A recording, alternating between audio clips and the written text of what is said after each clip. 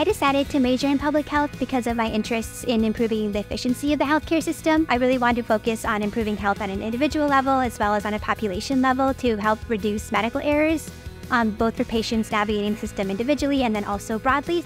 I definitely think the faculty are amazing in the undergrad program. A lot of the classes I've taken have been very discussion focused, and so I've really gotten a chance to get to know the faculty both inside the classroom, but then also outside of the classroom. If I ever reach out for support on specific projects or questions that I'm curious about, the faculty are always very approachable. I think my favorite thing about the community at Public Health is how interdisciplinary it is. I've definitely loved working with peers that have a variety of different interests and backgrounds and learning from them to see how public health can work with medicine, nursing, pharmacy, dentistry, and several other fields as well. And all of us being able to come together in class discussions and really get so engaged in a specific public health topic from a variety of different angles is definitely something that I really love about the community. Hoping to connect my interest in public health and medicine after like applying to med school and then as a physician in the future.